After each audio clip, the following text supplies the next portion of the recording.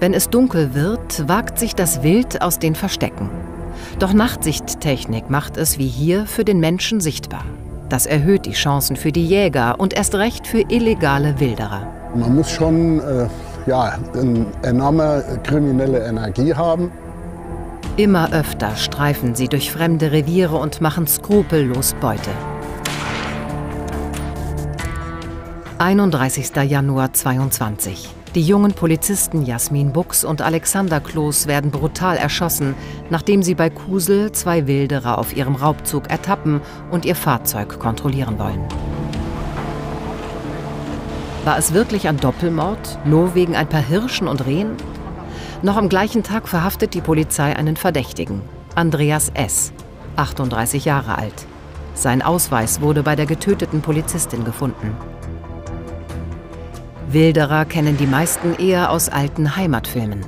Manche wurden sogar als gesetzlose Wildschützen zur Legende. Und wie ist das heute? Wilderei ist nicht ausgestorben, im Gegenteil. Ein echter wilderer König ist Felix Laubhuber. Er pirschte jahrzehntelang illegal durch Wald und Flur. Er war süchtig nach den schönsten Trophäen.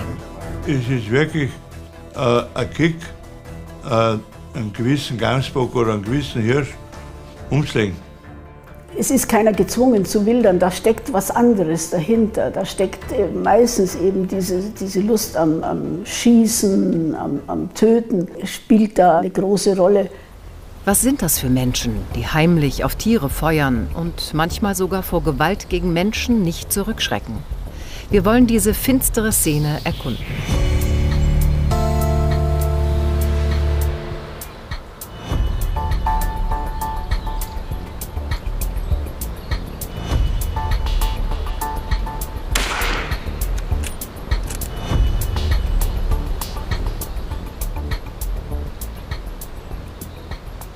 Der Tatort des Polizistenmordes. Die Kreisstraße 22 bei Ulmet im Pfälzer Bergland. Hier treffen wir Georg Altherr. Er ist Polizeireporter und stammt aus derselben Region wie die beiden Opfer. Deshalb beschäftigt ihn dieser Fall ganz besonders. Er fragt sich, wie konnte es nur dazu kommen, dass hier zwei junge Beamte getötet wurden?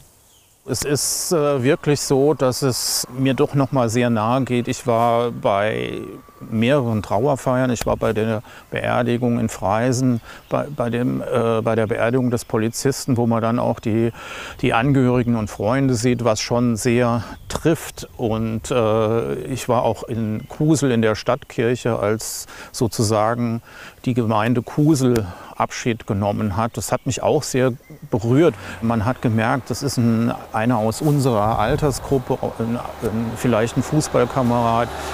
Das ist schon nahe gegangen, aber jetzt hier heute auch noch mal am Tatort zu stehen, ist, äh, tut auch noch mal weh.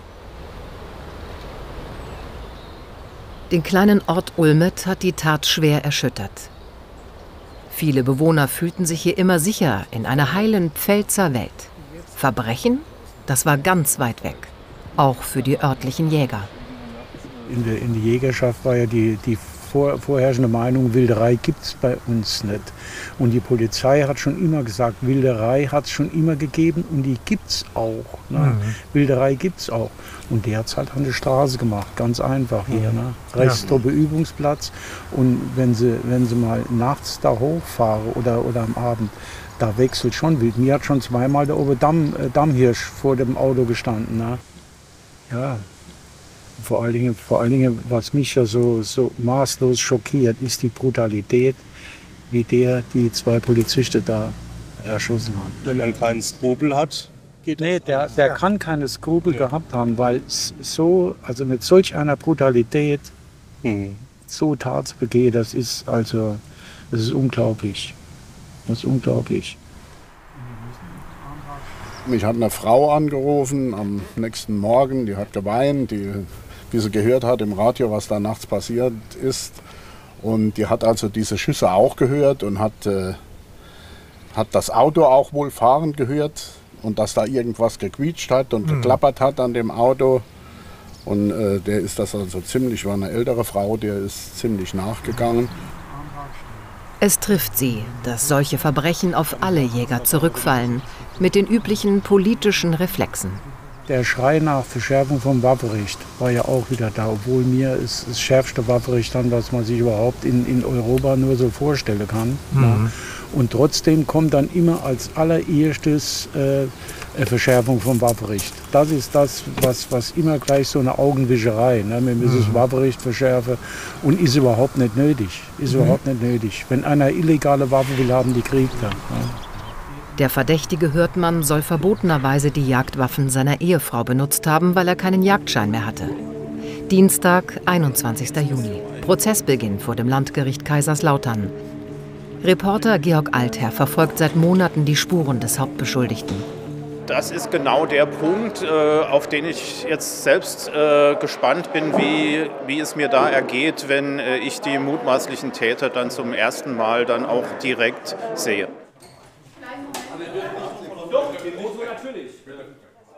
Die Staatsanwaltschaft wirft dem 39-jährigen Hauptangeklagten einen zweifachen Mord vor, im Zusammenhang auch mit einer versuchten Tötung. Das soll äh, aus Habgier oder auch ähm, äh, aus, ähm, mit Verdeckungsabsicht geschehen sein.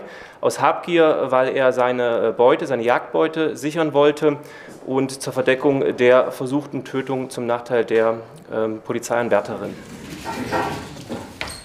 Andreas S. in der roten Hose soll laut Anklage der Mörder sein.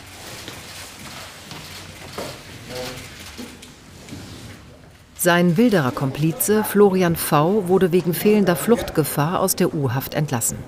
Ihm wird gewerbsmäßige Wilderei und versuchte Strafvereitelung vorgeworfen. Andreas S. schweigt zu den Vorwürfen. Doch er lässt seine Anwälte eine überraschende Erklärung verlesen. Sein Jagdgehilfe Florian V. habe demnach die Polizistin ermordet. Er selbst habe nur in Notwehr auf ihren Kollegen geschossen, als der mit der Dienstpistole auf ihn feuerte. Der Verteidiger des Jagdgehilfen zeigt sich unbeeindruckt. Er hatte mit solch einer Wendung gerechnet.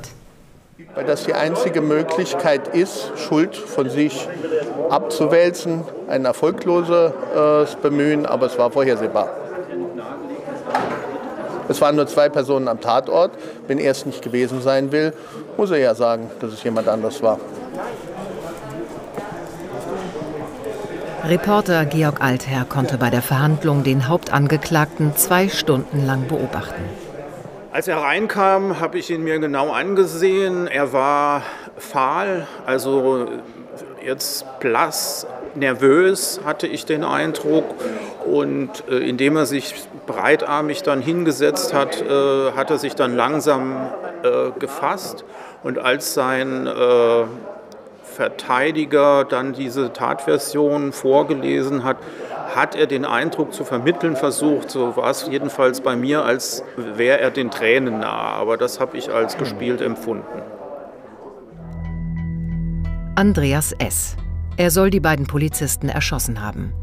Der Saarländer, Vater von vier Kindern, führte eine Bäckerei in fünfter Generation. Doch dann ging er in Konkurs. Er selbst spricht von zwei Millionen Euro Schulden. Als er 2020 den Jagdschein verlor, begann er zu wildern und entdeckte den lukrativen Handel mit Wildfleisch. Bis zu 10.000 Euro Umsatz soll er damit nach Polizeiangaben im Monat gemacht haben, war sogar in französischen Restaurants ein geschätzter Lieferant. Wir wollen mehr wissen über diesen Andreas S. Im saarländischen St. Ingbert treffen wir uns deshalb mit Manfred Spikowitsch. Er hatte hier im Forst das Jagdrevier von Andreas S. übernommen. Unter Jägern kennt man sich. Es gab etliche Gerüchte über Andreas S. und seine Geschäfte, aber Spikowitsch schätzt ihn anfangs als etwas speziell, aber korrekt ein. Ich habe den einmal kennengelernt bei einer Drückjagd des Saarforstes. Da war der, würde ich sagen, sehr auffällig, ja, mit einem langen grünen Mantel, einer Fuchsfellmütze und hat damals auch äh, Kuchen verteilt an alle Jäger. Das war so meine erste Begegnung mit ihm und ich gestehe auch, der erste Bock, den ich hier geschossen habe, den habe ich ihm damals auch verkauft in seinem Wildhandel. Er hat mir auch geholfen, die Trophäe zu machen. Also das waren so meine Kontakte ja. zu ihm. Korrekte Jäger wie er schießen vielleicht ein Stück Wild im Monat. Andreas S. soll bis zu 100 Rehe, Wildschweine und Hirsche in einer Woche gewildert haben. Kann er uns das erklären? Kann nicht äh, die Versorgung mit Nahrungsmitteln sein, weil nochmal, in Deutschland glaube ich nicht, dass das ein großes Problem ist, sogar nicht für ihn, sondern dass das einfach äh, Profitgier wahrscheinlich war, dass man, dass man da im Geld verdient, das eine. Und das zweite wahrscheinlich diese, diese Versessenheit auf, auf äh, Waffen und, und Töten. Warum nur könnte sich Andreas S., wie ihm die Anklage vorwirft, innerhalb von Sekunden dazu entschlossen haben, zwei Polizisten zu erschießen? Ich habe mir natürlich Gedanken gemacht. Ich dachte mir, wenn er denn das tatsächlich schon so lange und so, so professionell abwickelt, dann hat er wahrscheinlich auch eine, eine, eine hohe Meinung von sich selbst ne? und war, war fast unbesiegbar. Ne? Und dann wurde er quasi durch Zufall in eine Verkehrskontrolle verwickelt und dann plötzlich bricht dieses Kartenhaus zusammen. Ich, ich, jetzt fliegt alles auf, ich bin dann nicht mehr der, der große Held und dann vermute ich mal, dass das so eine Art Kurzschlussreaktion war. Wobei man sowas ja kaum erklären kann, aber das ist einfach verrückt.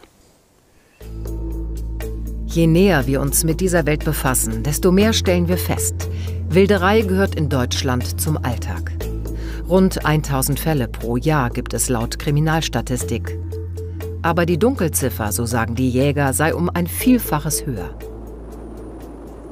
Zurück in Ulmet, wo Andreas S. kommerziell wilderte. Unglaubliche 22 Hirsche und Rehe soll er in der Tatnacht im Auto gehabt haben.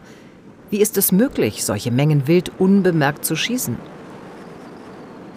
Von den Jägern in dem kleinen Ort können wir vielleicht mehr darüber erfahren.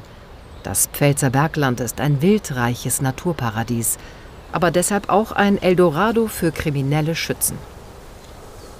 Kreisjagdmeister Bernd Klink aus Ulme zeigt uns die bergige Landschaft am Rand des Truppenübungsplatzes Baumholder.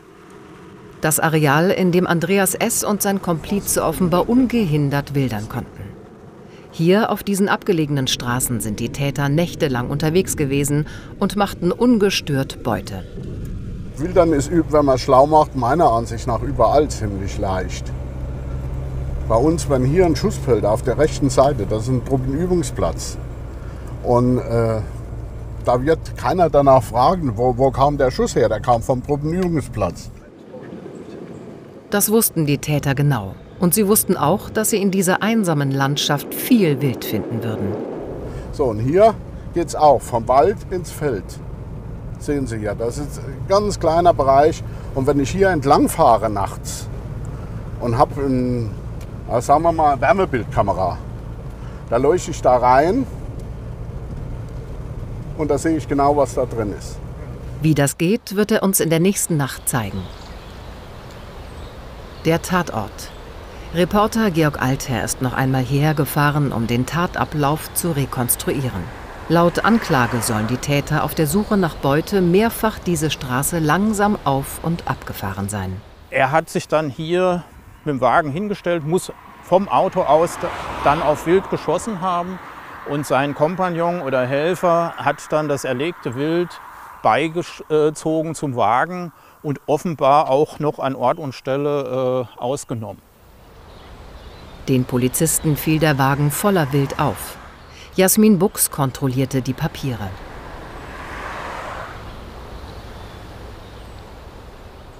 Dann hat sie nach dem Jagdschein verlangt. Dann hat er gesagt, den muss ich im Auto holen. Ging zum Auto, hat wohl die äh, Schrotflinte geholt und hat wohl unvermittelt äh, auf den Kopf der Beamtin gezielt, die dann äh, zusammenbrach. Und dann hat der ein Jagdgewehr geholt, äh, Bergara, ähm, so eine wo man so kippt und nachlädt und hat dann dreimal nochmal auf den Polizisten geschossen und der dritte Schuss traf ihn dann auch in den Kopf und war dann tödlich verletzt. Nachdem er dachte, er hätte den Polizisten äh, getötet, äh, muss er nochmal zu der Beamtin herangetreten sein und hat äh, die durchsucht, weil er die Papiere nochmal haben wollte. Und dann hat er die durchsucht, hat gemerkt, dass sie entgegen seiner Erwartung noch gelebt hat und hat sie dann nochmal mit der, mit der Schrotflinte äh, in den Kopf geschossen.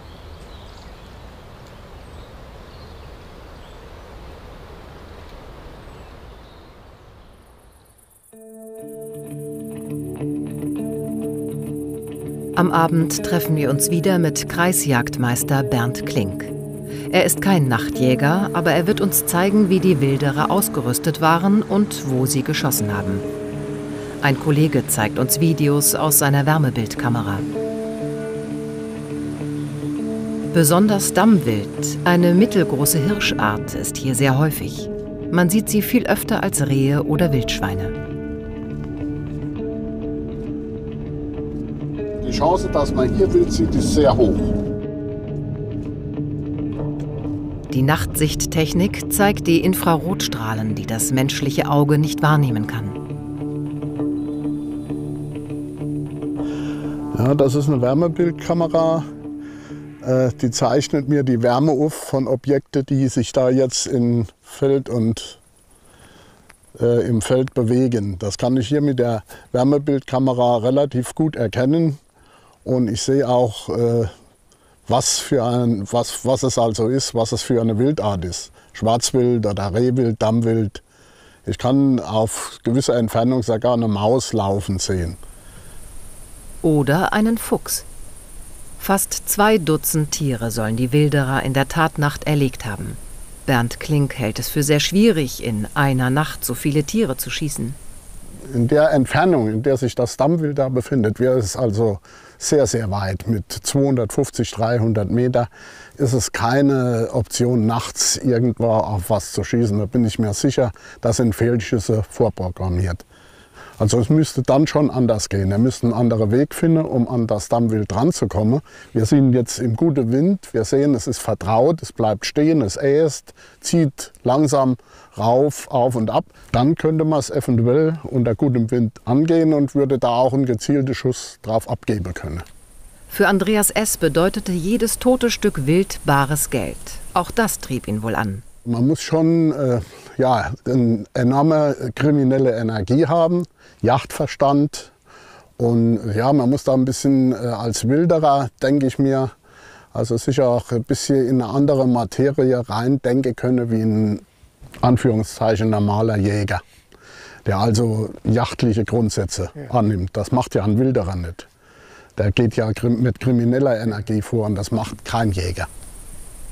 Über eine Stunde lang bewegen wir uns ganz offen in dem Gelände, sogar zwischen dem Wild. Keines der Tiere stört sich daran.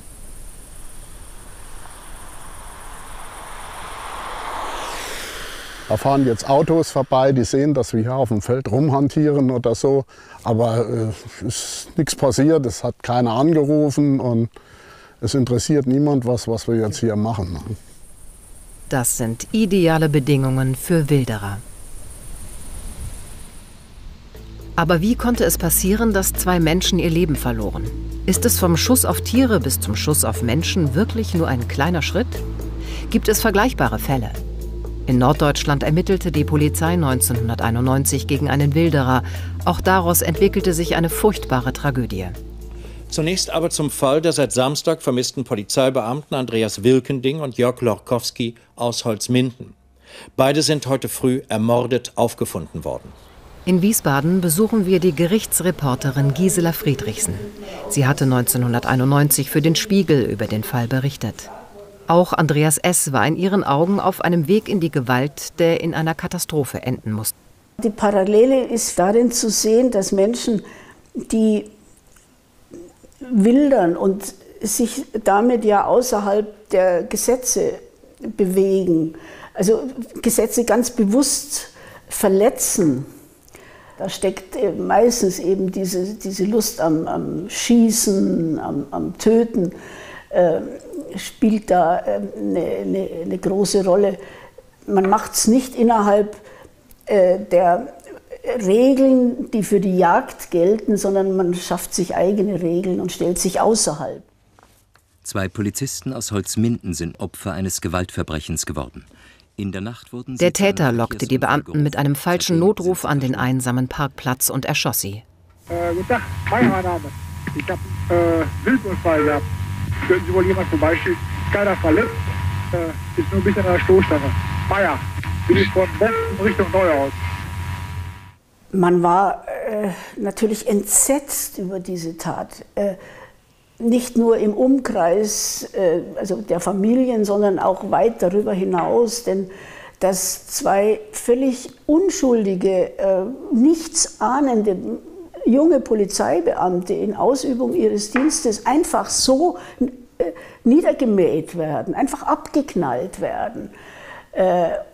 Das, das hat die Menschen natürlich erschüttert. Und dann waren das zwei junge Männer, die hatten, waren beide verheiratet, beide hatten sie kleine Kinder. Äh, das war ein, ein Elend ohne, also unbeschreiblich. Das Sonderkommando der Polizei schlug gestern Abend während der Übertragung des Fußball-Länderspiels zu. Drei Brüder wurden als Verdächtige verhaftet. Der Ältere gab zu, den Mord nach einer Wilderer-Tour spontan geplant zu haben. 14 Mal hatte Dietmar Jüschke mit einem Schnellfeuergewehr auf die Polizisten geschossen. Dieser älteste der Brüder war ein ein, ein unruhiger Mensch, ein, ein, irgendwie ein Getriebener. Es war bekannt, dass er also ein, ein äh, fixiert war auf die Jagd, auf Waffen, er wollte immer Waffen haben. Und er hat ja mit seinen Brüdern dann auch einige Überfälle so auf Kasernen oder Munitionsdepots gemacht, äh, nachdem man ihm äh, sowohl den Jagdschein entzogen hatte, als auch die Waffenbesitz äh, Erlaubnisse äh, und auch den Führerschein weggenommen hat. Er ist mehrfach wegen Wilderei äh, äh, angeklagt und auch verurteilt worden. Also das ist ein Mensch gewesen, der schon sehr äh, auf vielen Ebenen eigentlich sich außerhalb von der Gesellschaft bewegt hat. Und Regeln waren für ihn, also galten für ihn nicht. Dietmar Jüschke wurde zu lebenslanger Haft mit anschließender Sicherungsverwahrung verurteilt. Heute will sich keiner der damals Beteiligten von Polizei und Justiz mehr vor unserer Kamera zu dem Fall äußern. Auf alle unsere Anfragen erhalten wir Absagen.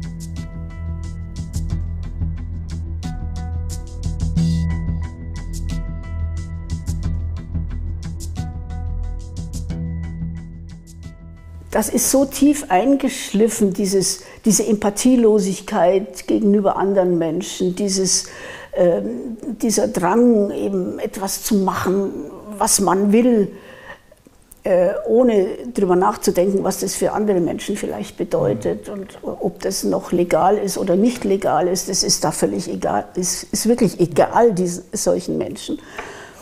Äh, und daher kann ich es gut nachvollziehen, dass er weiter sitzt und dass alle, die damals an dem Prozess beteiligt waren, äh, wahrscheinlich bei dem Gedanken erschaudern, äh, dass er wieder auf freien Fuß kommen könnte und sich dann möglicherweise an ihnen rächen würde.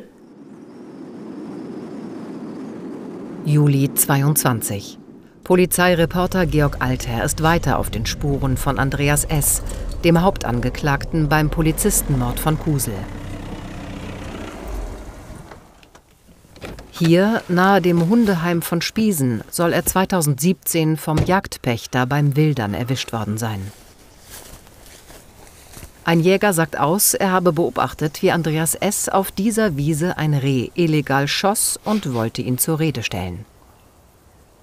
Also der Andreas S. soll dann in seinem Bäckerwagen von da hinten gekommen sein an dem Abend und der Zeuge äh, hat ihn gesehen und sieht, dass das Auto hier kommt. Dann rennt er hier rüber über die Wiese, springt über den Graben und stellt sich dem Andreas S. in den Weg und versucht ihn anzuhalten. Der macht aber nicht langsam, sondern im Gegenteil drückt aufs Gaspedal und äh, der Zeuge sagt, er hatte dann richtig Angst, überfahren zu werden und springt dann im letzten Moment äh, in, in den Graben und weicht aus. Und in dem Moment, sagt er, hat er ihn auch eindeutig erkannt.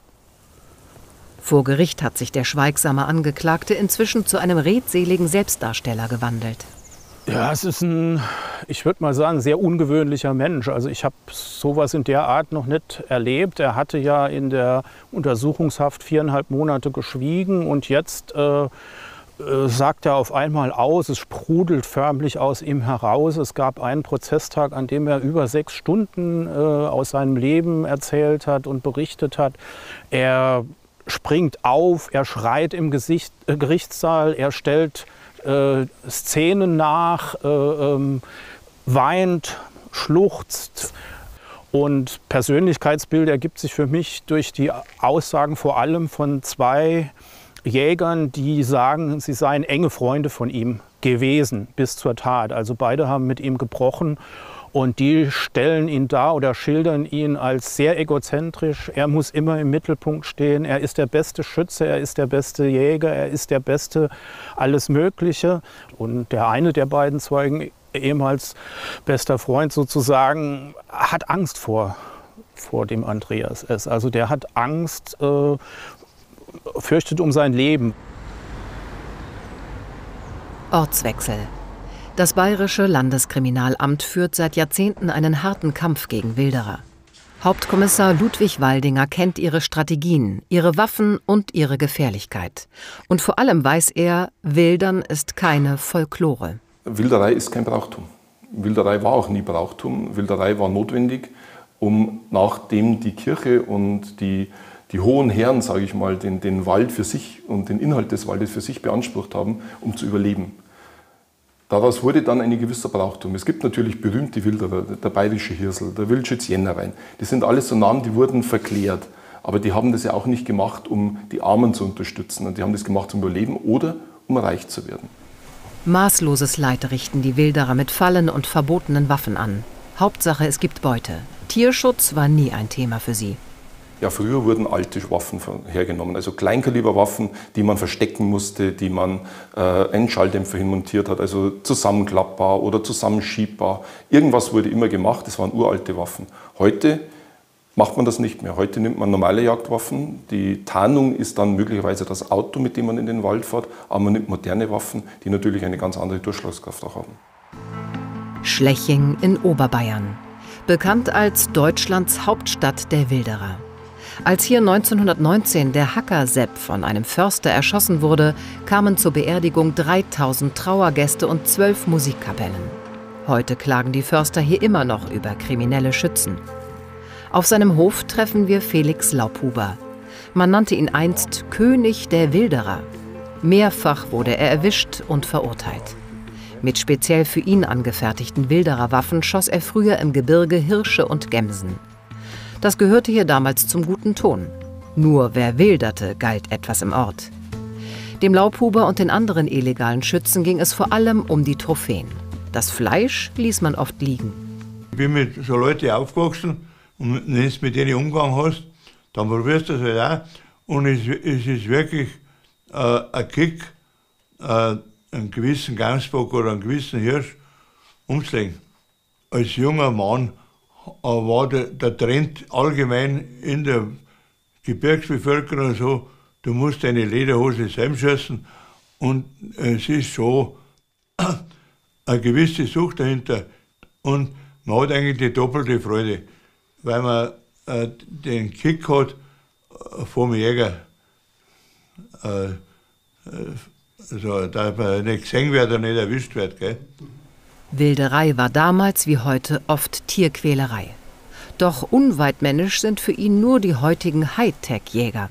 Wenn ich heute her, dass man eine Wärmebildkamera hat oder Wärmebildzieleinrichtung, äh, da kann ich bei Stockfinsterer nachschießen und werden angefüttert. Oder ich sitze im Büro, dann sehe ich auf meinem Monitor, an der Wand steht ein Gams drin Du, dann wage ich mein Bild vorauf und schieße die runter. Also, das nennt sich Jäger. Gell? Wilderer König Laubhuber vor 30 Jahren. Er war damals ein Star unter den illegalen Jägern. Mit ihm und seiner Wilderei hatte der pensionierte Hauptkommissar Dieter Stiefel damals als Waffensachverständiger beim LKA dienstlich viel zu tun.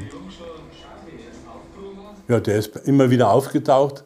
Hat ja auch, äh, äh, bei ihm war das ja auch so, dass er öfters mal der Polizei äh, und den entsprechenden äh, Sachverständigen Schnippchen geschlagen hat. Da gibt es ja tolle Stories von einem Hirsch, den er äh, heimgekarrt hat und den Müll in die Jauchegrube geworfen. Der hat es eigentlich immer verstanden, auch äh, trotz, ich meine, er ist ja verurteilt worden, auch für seine Taten, aber auch immer wieder durch die Maschen des Gesetzes zu schlüpfen. Das war Laubhubers wilderer Waffe, speziell für ihn angefertigt. Für Kleinkalibermunition, mit der die Jagd aus Tierschutzgründen verboten ist. Das hier ist die Wilderer-Patrone, also eine typische äh, Kleinkaliberpatrone im äh, Kaliber 22 LFB, lang für Büchsen. Äh, am besten kann man das versuche mal zu erläutern. Sagt, diese Patrone hat eine Bewegungsenergie, da kann man sich nicht viel vorstellen, aber von 150 Joule. Und die wird verwendet zum Beispiel im Schießsport, äh, olympische Wettkämpfe. Und hier neben habe ich eine Patrone, das ist Kaliber 308, eine Standardpatrone für die Jagd. Und diese Patrone, diese Munition hat eine Bewegungsenergie von 3000 Joule. Das heißt also, wir haben die 20-fache Energie gegenüber der KK-Patrone. Bei der legalen Jagd wie hier auf Dammwild soll der Schuss sofort tödlich sein.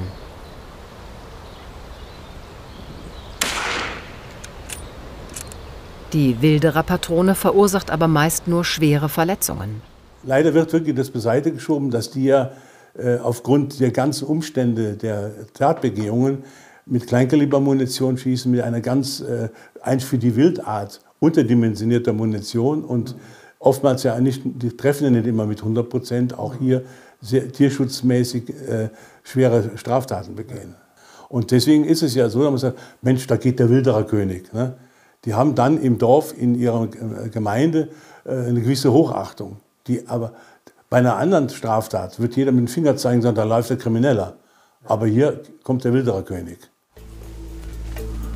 Polizeireporter Georg Altherr auf dem Weg zum Wohnhaus von Andreas S. Hier hat er mit Frau und vier Kindern gelebt. Er hat hier mit Fleisch gewirtschaftet. Hier stand ein, ein Kühlanhänger, der voll mit Wild gewesen sein soll. Das war so ein Karlsberg, so, wo man normal denkt, das ist ein Bierwagen. Der stand hier und äh, in dem grünen Fahrzeug da hinten, der war hinten voll mit roten Kisten, so wie sie auch die Metzger haben, um ihr Fleisch zu transportieren. Die Nachbarn, mit denen ich gesprochen habe, die haben sich vor allem geärgert über die ganzen Ratten, die hier waren. Also die, äh, die haben heute zum Teil noch äh, da, der wohnt da hinten, äh, ganzen Garten voll Ratten. Und er, äh, in der, im Prozess haben Polizisten, die durchsucht haben, ausgesagt, dass äh, im Haus ein sehr unangenehmer Geruch geherrscht habe nach verwesendem Fleisch und sowas, also im Flur, in bestimmten Räumen. Und auf der Terrasse standen zum Beispiel Plastiksäcke mit, mit, mit Fleischresten. Gut, es war Januar, da ist noch kühl, aber wenn sowas im Sommer da rumsteht, das ist ja, ist ja furchtbar, ist ja wahrscheinlich ätzender Geruch. Warum hatte Andreas S. Zugang zu zahlreichen Waffen, obwohl er keine Lizenz mehr hatte? Seine Frau will sich dazu nicht äußern. Georg Altherr sucht weiter nach Spuren von Andreas S. Hier im saarländischen Sulzbach soll er das erlegte Wild verarbeitet haben, auch nach der Tatnacht von Ulmet. Altherr findet die Wildschlachterei von Andreas S. Ihn beschäftigen noch viele Fragen. Wohin hat er die Tonnen von Fleisch verkauft? Hatte er Komplizen und Mitwisser? Warum wurde er nicht strenger kontrolliert, obwohl man ihm schon zweimal den Jagdschein entzogen hatte? Für mich ist die Geschichte auch nicht vorbei, wenn das Urteil gesprochen ist, weil äh, so viele Fragen offen sind. Wie konnte es so weit kommen? Äh, die Behörden haben unglaublich geschlammt äh, und tun das heute immer noch. Seit einem halben Jahr beschäftigt ihn die Tat und sie lässt ihn immer noch nicht los. Eigentlich gar nicht fassbar. Also äh, es ist so, dass äh, bei mir ja auch eine gewisse räumliche Nähe zu den, zu den beiden Opfern besteht. Also die Polizistin hat im Nachbarort gewohnt, der, der Polizist äh, in, in Freisen, wo ich oft zum Fußball war und wo ich auch Schulfreunde noch habe. Und äh, insofern ist das sowieso nah.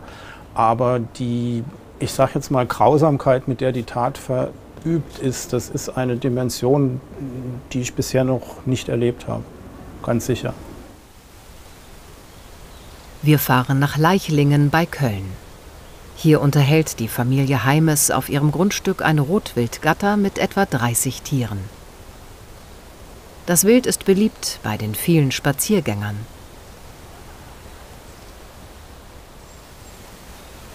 Heinz Willi Heimes und sein Enkel Paul füttern die Hirsche jeden Tag mit altem Brot.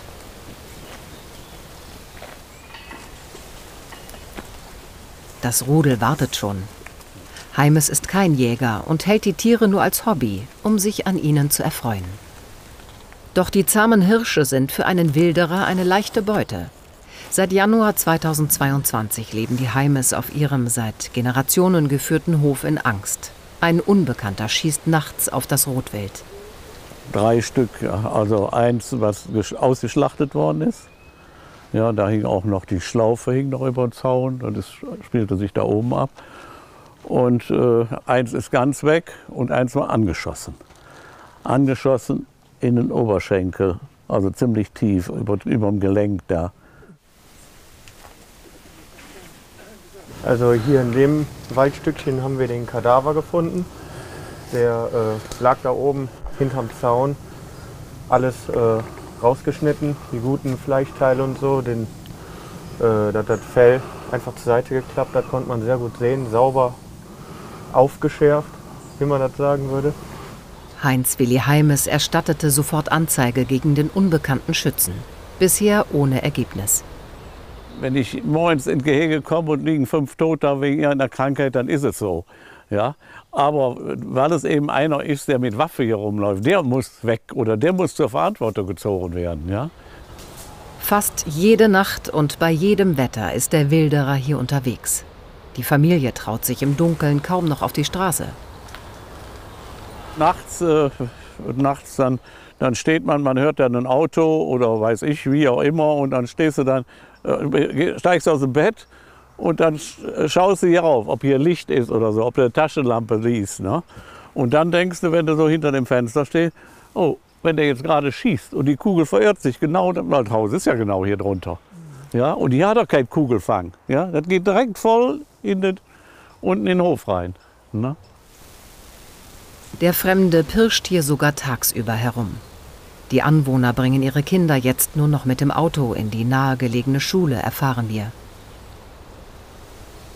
Die Heimes wollten sich schützen und stellten auf Anraten der Polizei Wildkameras rund um das Gehege auf.